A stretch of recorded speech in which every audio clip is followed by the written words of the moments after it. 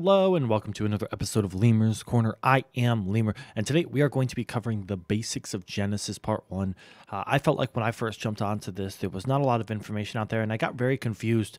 Um, but as I continued to play it more and more, uh, I really started to understand what was happening, where it was going, and what was going on. So uh, let's go ahead and start covering some of the basics here for what we are looking at for Genesis 2. So, first things first, let's talk about HLNA.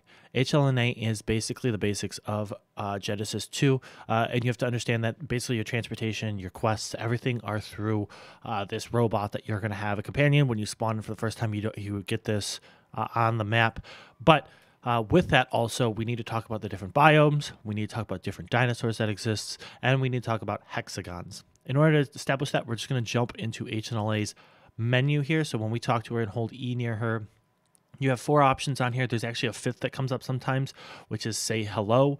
Uh, when you say hello to HLNA, uh, basically she gives you an extra 3,000 hexagons. Really helpful, really nice, really exciting. But let's go ahead and talk about biomes first.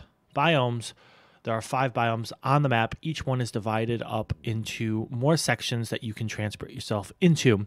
Uh, this is the bog, volcanic, ocean, lunar, and arctic. The bog being the swamps where you can grab a lot of dinos. A lot of cool quests in there. Volcanic is the volcanic mountain where you grab metal, element, uh, and all kinds of fun new dinos that are on there. Uh, and there are a couple quests on there too for you to do.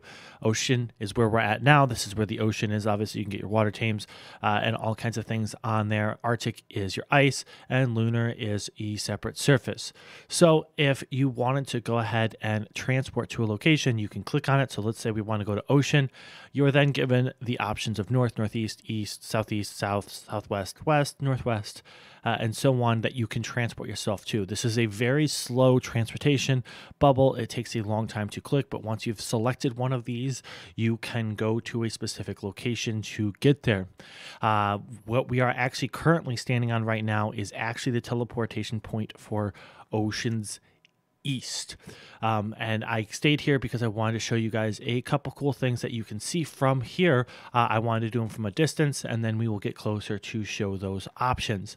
Uh, but Going from each location to location, you can find a place to put a base. This base has to be in a location that is not a mission area. If it's in a mission area, you cannot build on it. And this is one of the problems with Genesis 1 that they said they are resolving in Genesis 2.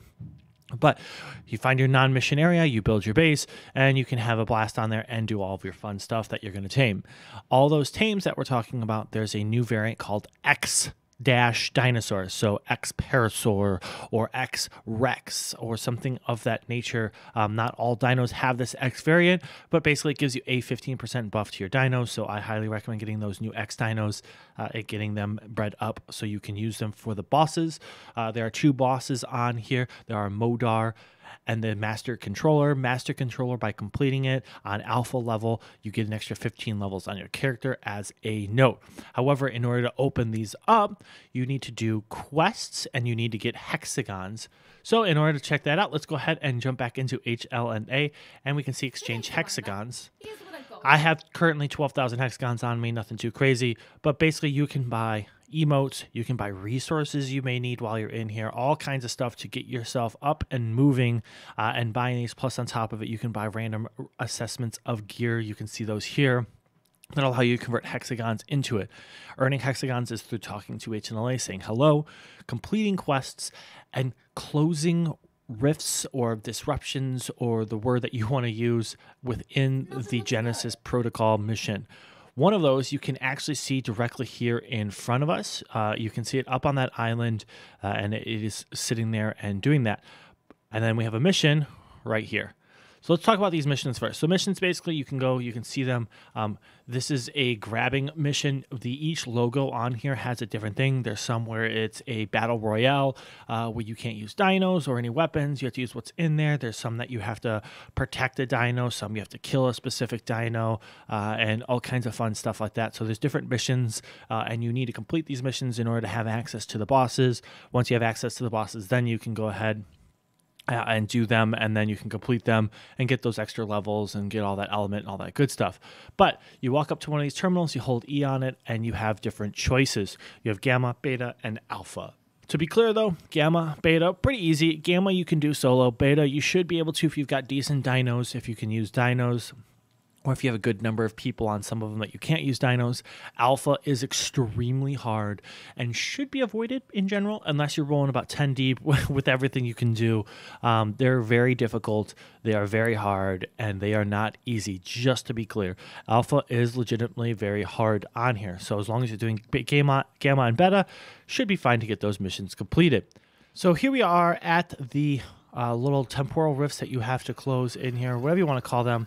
Uh, I'm going to go ahead and show you what it looks like. It's a glitch, uh, specifically what it's actually called. I call them all kinds of different things, but there's called different names. But you go ahead and hold E on it, H and A goes up, and you get a thousand hexagons for grabbing that. And then she tells you about what the glitch was about and all that kind of stuff.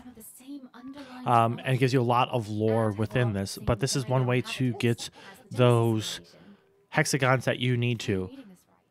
So at this point, we've covered uh, hexagons, what they're used for, how you get them, uh, and specifically then we've covered X dinos and the different biomes. Last thing I want to show you is actually the quest menu itself. Um, just so you can see you have this new thing called mission list. Uh, over here you can see what you've completed, how many you've completed them overall, and how many are ready to go. On top of it, it tells you where to track the mission and where it's at. So you can see, as I said, on the side, there's different dinos. So like this one, uh, you have to track down a Mosa and kill it. Uh, basically, you remove it. That's what the dino with the two daggers into it is. This is go and grab something uh, very quickly. This is defend. Uh, which is what's it's got the shield on there. This is doing a quick escape after you grab something, so it's just going to get something coming back up. There's races that you have access to on here, uh, and then of course there is uh, destroying uh, the bosses on here, which is also a mission within itself. Um, you can also complete all of the ocean glitches is an option, but each biome has its own thing, and you can have a ton of fun doing that kind of stuff uh, just as an option for you. But you can see there's different biomes for different things you do, um, and this is playing basketball, which is really cool on there. But overall, these are all the fun ideas that you have access to on here that you can do, including fishing, uh, and all those kind of fun things that you can do. And you can do them all on different levels in order to get there. They give you an idea of what the reward is on here. And then you can see the reward goes massively up the higher the difficulty. But as I said, the difficulty jumps. I think the jump from gamma to beta is pretty minimal, but from beta to alpha, it is completely bonkers. Uh, and I highly recommend you be very, very careful with those. So, this is the menu that you want to get into. Uh, in order to get into though, you can see, I want to jump one really thing really quick. You can see one tough Moeder and you can see that they have a little bit of an asterisk next to it. Um, but you can go into to complete that one just fine on there. Uh, the one that we need to talk about is actually specifically down here. You can see where I've completed some of my bog beatdowns on here. Um, and those are the ones I was talking about where you don't have any dinos and you have to sit there and fight yourself uh, for the last moment on here. But uh, I wanted to go ahead and show you. So I said I was going to go in here and show you something. Um, however, um, I completely forgot that the fact of the matter is, is you don't get access to it until it opens. You can do Moeder right away as long as you have the missions complete, which is three of the missions you need to complete. But in order to get to Master Controller, you have to open up a certain number of missions for each level. So in order to reach Master Controller Gamma, you need to have 58 missions completed. For Beta, 116 missions completed.